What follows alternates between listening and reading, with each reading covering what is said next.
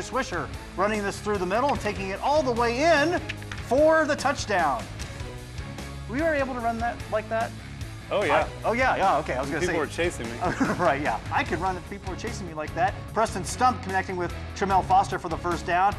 Then Eric Davis getting the handoff, but taken down for the loss by Montana Pierce. Big Sky getting the TFL. Now Blake Whitmire quickly finding Camden Glazier. He picks up the first down. Now Whitmire looking again, finding Chase Woodruff deep downfield for the touchdown. And McComb on top, 14 to nothing. More action from McComb. Braxton Altizer found some space in the middle, breaks it through, takes it all the way in for the touchdown.